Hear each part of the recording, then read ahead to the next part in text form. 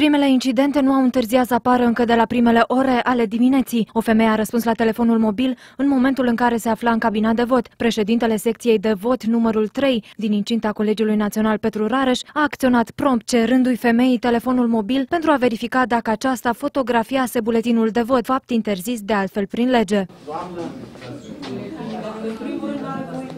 dacă m-ați găsit? Nu am plătit, ci că nu... nu o să Dar nu are telefon în cabina După verificarea telefonului mobil, s-a putut constata că femeia nu fotografiase buletinul de vot. Ce au făcut poză? Nu, are, are, are doar cu o căsuță, ceva, ceva, ceva. Nu are.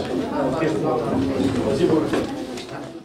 Un alt incident a fost semnalat la secția de votare numărul 293 din satul Bănești, comuna Fântânele, unde două topuri de buletine de vot au fost rătăcite din alt colegiu. Această comună face parte din colegiul 4, iar topurile rătăcite erau din colegiul numărul 2. Se pare că un număr semnificativ de voturi au fost introduse deja în urne. Incidentul a fost semnalat la biroul electoral județean Suceava telefonic, fără a exista vreun document scris care să confirme cele întâmplate. Reprezentanții Bej au spus că mesajul transmis transmis către comisia de la această secție a fost respectarea regulamentului, urmând ca după ora 21, după deschiderea urnelor, să se stabilească ce se va întâmpla. În cazul în care vor exista reclamații, este posibil ca acele voturi să fie anulate. Conform președintelui secției de votare numărul 293, s-a întocmit un proces verbal de constatare în care s-a specificat faptul că două topuri de buletine de vot care nu aparțineau acestei secții au fost deschise și introduse parțial în urnele de vot. Estimativ este vorba de aproximativ aproximativ 200 de buletine de vot greșite. În ceea ce privește situația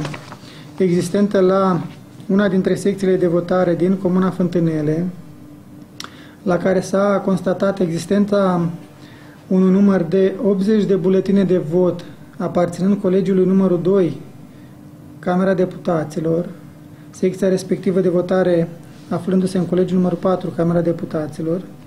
Acele buletine de vot au fost constatate ca fiind nule de către membrii biroului electoral a secției de votare respective, în, cu ocazia numărării voturilor găsite în urnă, iar împotriva acestei, acestei situații, acestei constatări, nu au fost formulate contestații de către competitorii electorali.